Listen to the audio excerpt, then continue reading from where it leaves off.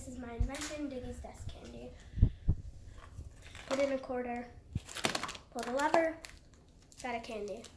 You would attach this to your desk, uh, put it under a desk, put it on a desk, then, Easy, convenient snacks on the go. yep, turn it around, This, This is is how it works. inside. Now flip this. Shoot. Push this up. Put this quarter come out right here. So what happens is you put in the quarter, pull this. And it falls. Yep. And then you got one.